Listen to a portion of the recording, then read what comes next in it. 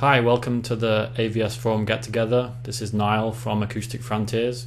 Uh, my company, Acoustic Frontiers, helped design and optimize the acoustics for David Beck's The Savoy Theatre. So that's what I'm going to talk to you about today.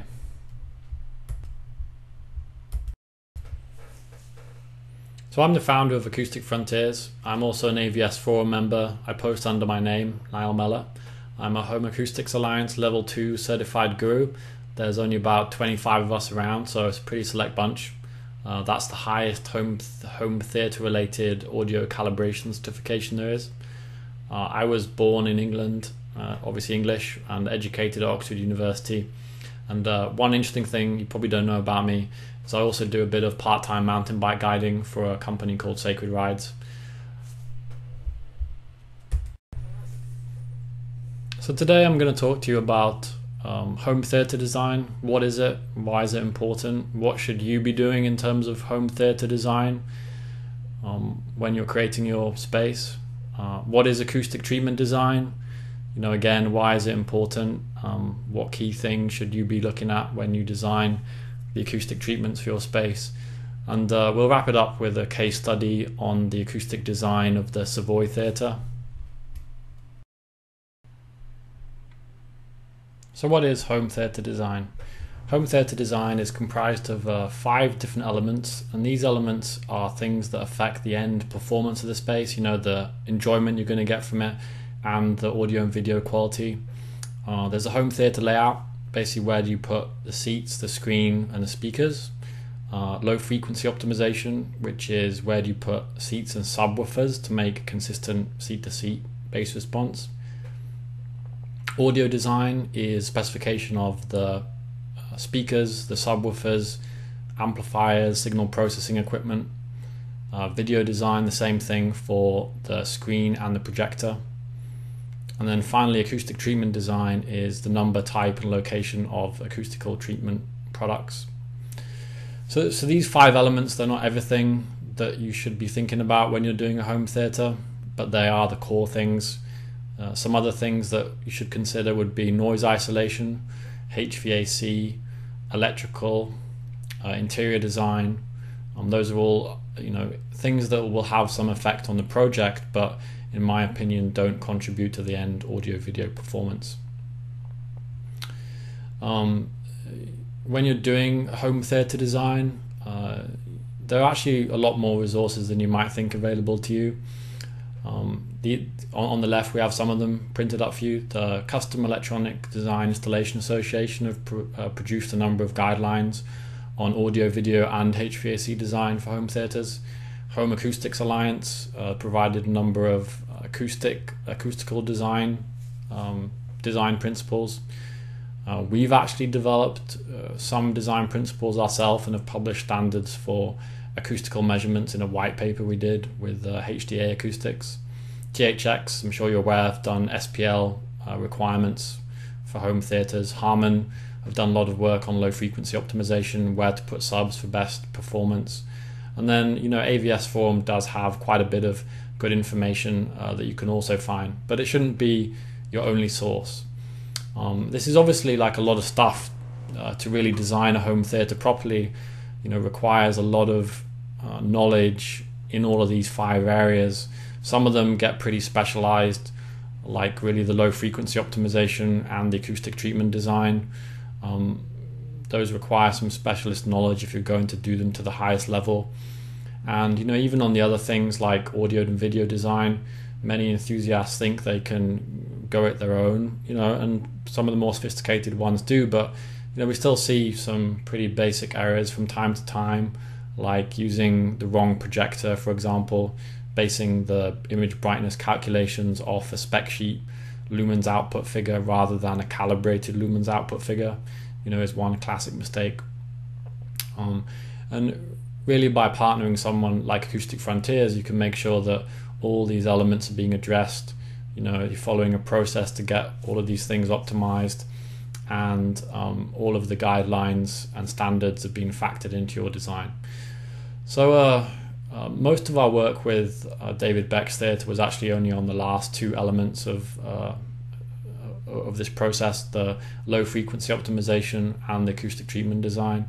And uh, the low frequency optimization work we did was kind of limited because we didn't have complete freedom in specifying seat and subwoofer locations, as you'll find out later on.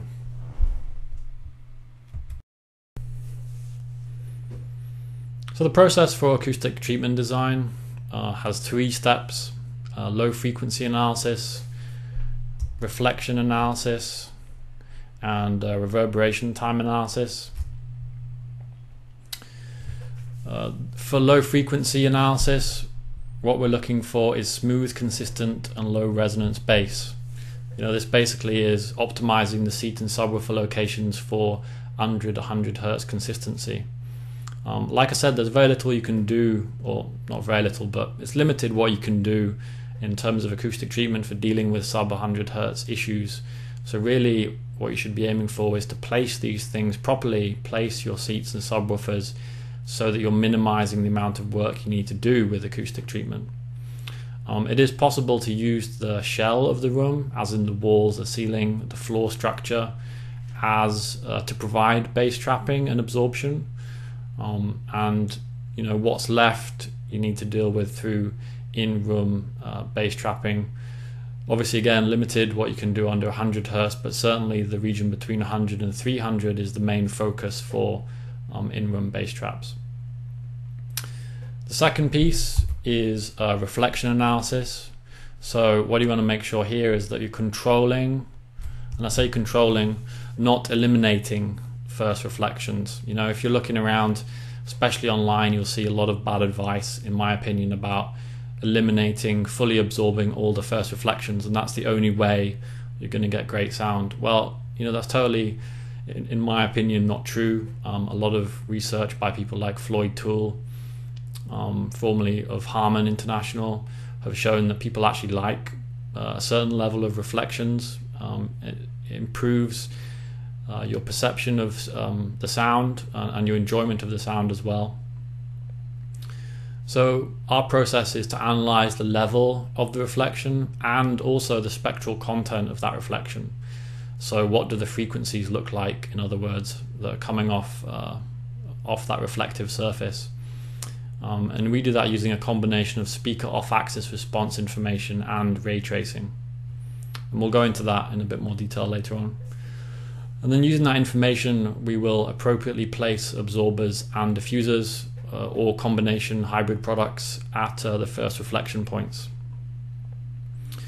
Um, the first reflection points are really, uh, you know, only one part of the total sound you hear. The sound in the room is uh, the sound you hear in a room is a combination of the direct sound, the early reflected or first reflected sound, and the late arrive uh, late arriving reflections or reverberant sound. Um, so that final piece is the reverberation time analysis. We want to make sure that the mid-range decay times are consistent. You know, everything above about 250 to 8k. We want to make sure it's decaying at the same rate. Um, that the room isn't too live, you know, echoey, um, but it's also not too dead. I'm sure many of you have been into home theaters that are too dead um, generally not a pleasant place to be. And, and we do that through RT60 modeling. Um, and then what that informs is really how do you uh, treat the rest of the room. So, you know, do you use carpet everywhere? Uh, what kind of fabric do you use if you're doing a stretch? Um, that kind of stuff. So, really, the message here is acoustic treatment design is a process, you know.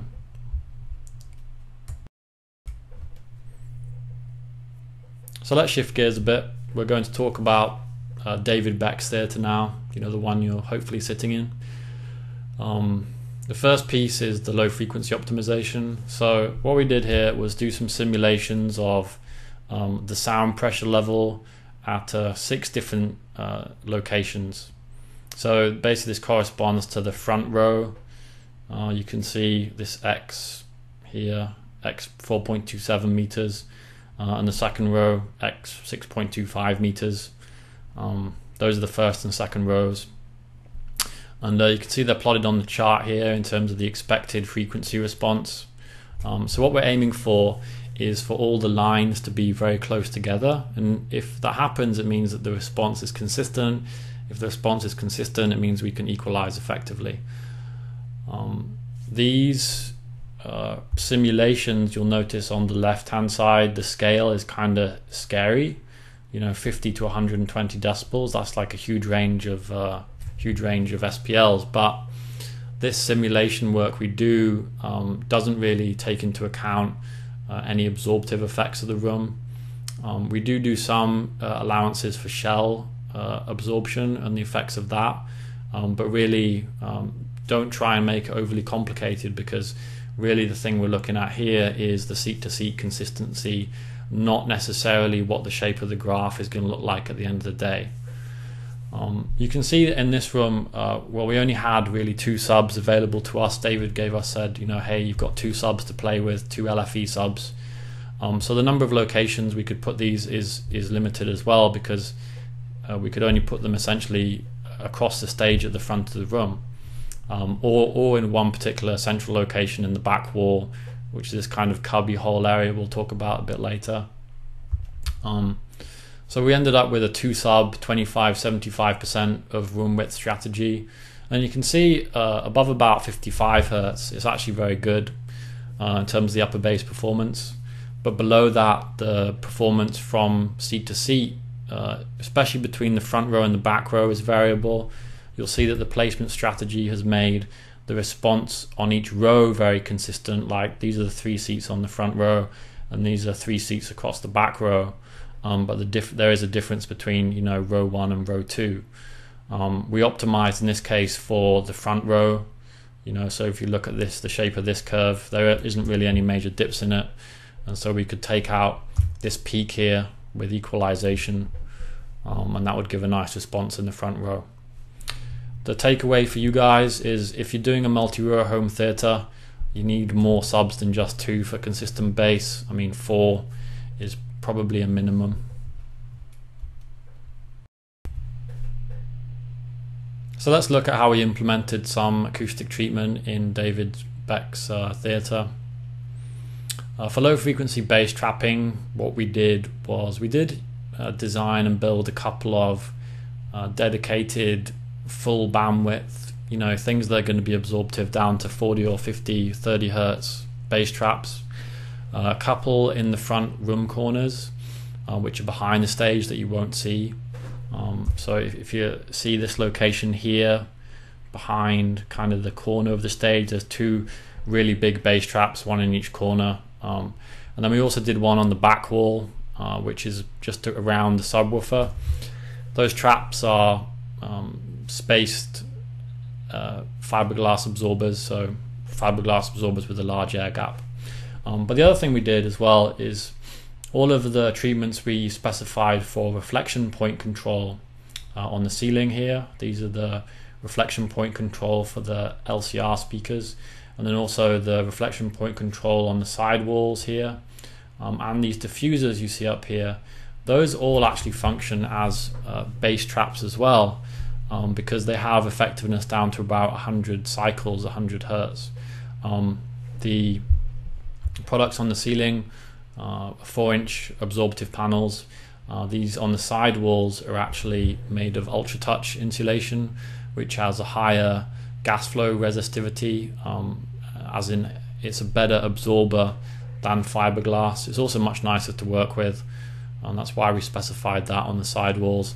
And then these diffusers, uh, these are actually Auralex products. They are hollow in the back, and that hollow uh, nature of the diffusers actually turns them into um, a kind of panel uh, absorber. So they're absorptive in the 100 to 300 hertz range. Obviously, not absorptive uh, outside that, above that, because they're hard, hard surface, but they create a nice um, absorption boost most most where it's needed, which is that room mode region, you know, below 300 hertz. In terms of the reflection points, so we're moving on really now into the second step of the acoustic design process. Uh, we looked at the off-axis response of the JTR speakers. This is the lateral off-axis. Uh, this is the vertical off-axis. Um, we did uh, ray tracing, so basically looking at where the reflection points would fall for each seat location and each speaker uh, on the sidewalls. And then we also did a bunch of calculations involving uh, what the cancellation frequencies are, what the level of the direct versus reflected SPL is, uh, what the delay is, uh, what kind of um, SPL would expect back at what time from the reflection. And the reason all that's important is because how you hear the reflection depends on, you know, three things: what level it is, uh, what the spectral content of that reflection is relative to the direct sound, and what the delay is relative to the direct sound. And our process takes into account all of those things. Uh, I don't think there are that many other people or companies doing um, as sophisticated as analysis on the reflection points, and it's something you know we've developed in house. Really, um, takeaway for you guys is that please, please, please do not just use the generic absorbers at first reflection points approach. You know that's what you're going to get from the less sophisticated designers out there and from you know generic acoustic treatment companies, uh, maybe even some of the internet direct acoustic treatment companies they're not going to take any measurements of the speakers. They're not going to do any of this kind of reflection uh, analysis. They're just going to take a look at the photos you guys have provided, maybe a room sketch, and then you know recommend, hey, two of product A, three of product B, and that's your reflection point control. Um, if you want a, a, sound that's balanced in terms of imaging versus spaciousness, uh, and you want something that's going to you know give you the highest quality from acoustic treatment, then that's totally the wrong approach. Uh, you need to look at it uh, at a more sophisticated level.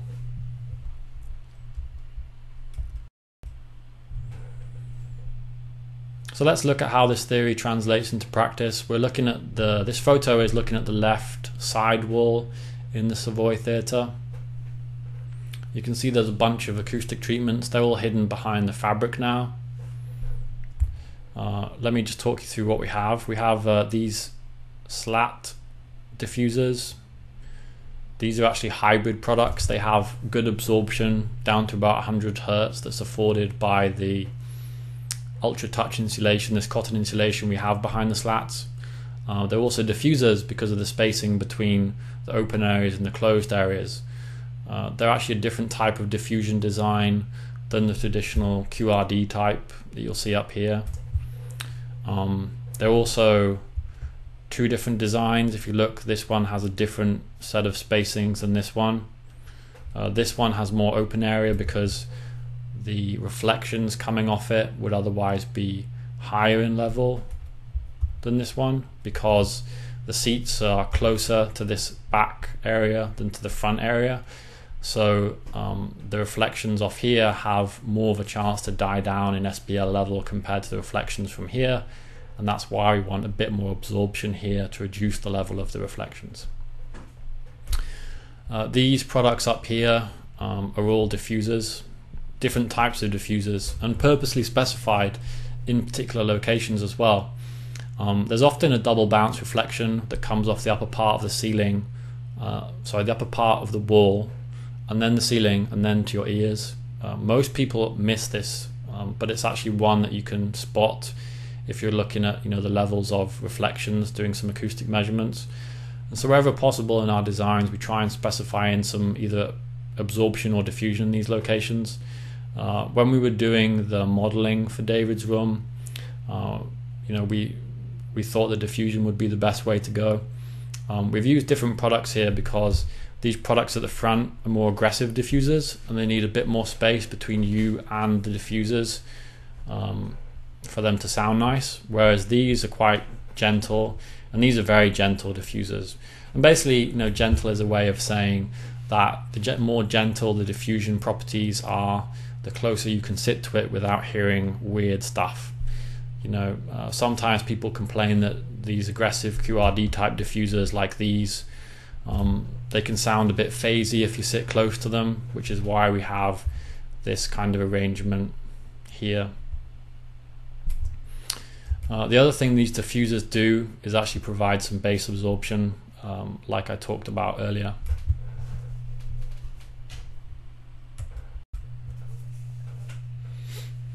Final thing we did for David was baffle wall design.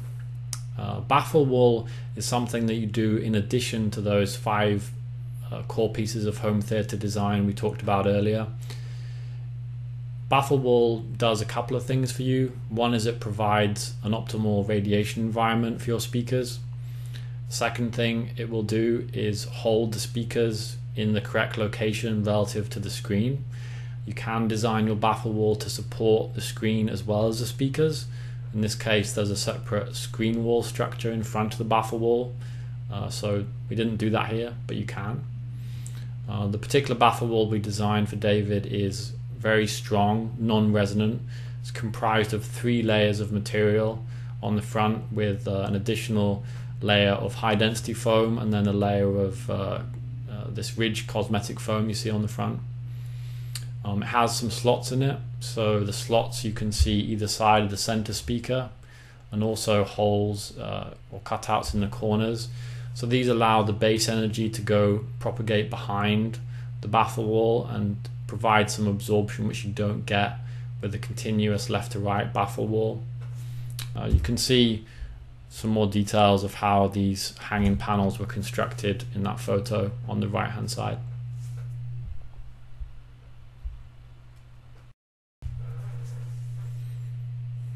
Thank you for listening to my presentation. Again, I'm Nyal Mellor from Acoustic Frontiers. We really specialize in home theatre design and acoustics. If you need any help with that stuff, thinking about doing your own project, please get in touch. Uh, you can reach us on the web www.acousticfrontiers.com and my personal email address nyal at acousticfrontiers.com or we have our office number there on the page also. Thank you.